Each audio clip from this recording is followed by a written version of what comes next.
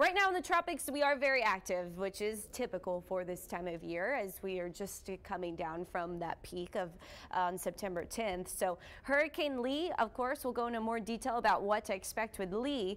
Margot, Hurricane Margot is still hanging out in the central Atlantic, creating some high seas and high swells and a 90% chance of new development with a tropical wave that is likely going to move to the northeast along a similar path just north of where Lee tracked. However, uh, should stay further away from the Caribbean than Lee did. So right now, Lee is moving north, due north at 9 miles per hour.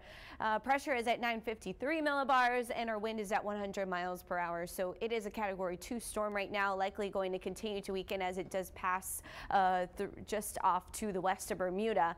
That storm will have an impact across New England, likely more so in terms of waves dangerous surf and so forth. However, some wind, tropical storm force winds, tropical storm watch, and even a hurricane watch in place for portions of New England and Maine as we speak early this morning. So that system is going to look like it takes a northeastward push once it gets that far north, but it is creating some high seas right now out there, 30 to 40 foot swells. And along the, the eastern coast, even from Florida and into the Carolinas right now, we're getting five, six, seven foot swells. So that's going to be that dangerous surf that we're talking about. The surf forecast taking some waves as as 10 feet along that coastline into tomorrow.